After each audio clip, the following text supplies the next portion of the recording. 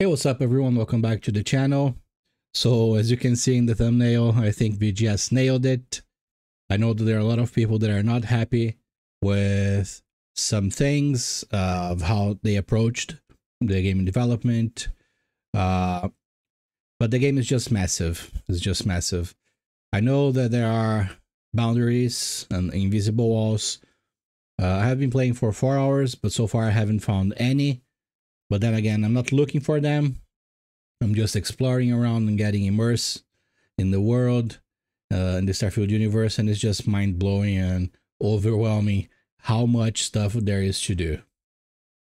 And I think they did the right decision in approaching the game the way it is, uh, with the tiles and the invisible walls, because it feels just massive, and the performance is just mind blowing. Like I haven't had any problems with performance. I am playing an uh, i7 12th gen with RTX 3070 and 32 gigabytes RAM. I'm playing it in ultra settings in a ultra wide monitor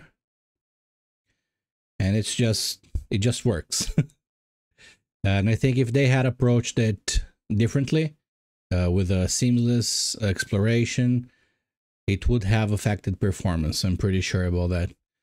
And yeah, so this is my early impressions without any spoilers. So don't worry about that. Uh, I have done some of the side quests and I really love them.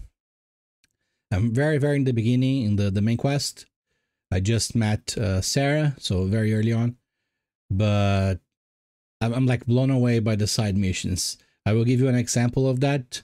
Um, so when I first arrived in New Atlantis, there was this janitor minding their own business. And I just wanted to talk to the, the NPCs and see how things work and explore the city. And I started talking to this NPC and one of the options was to ask, uh, was to tell the NPC that uh, she looked a little bit tired. And so I did. And have in mind that there was no marker for quest or anything. It was just an interaction between two people, basically. And NPC told me that uh, she was actually a little bit tired because she works long hours. And she told me that she would feel better and was and wake up after having some cappuccino. And I offered her, okay, so I can get one for you, no worries. Uh, and then I went there, I got a cappuccino for her, I, I brought to her, and I got a, a, small reward for that.